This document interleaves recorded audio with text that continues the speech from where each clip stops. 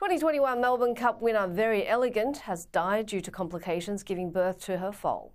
The champion mare not only took out the cup but finished her career with 11 Group 1s to her name while winning more than $14 million in prize money. Trainer Chris Waller revealed Verry Elleegant was at a farm in Ireland at the time of her passing and thanked staff there for doing all they could going on to say she'll never be forgotten.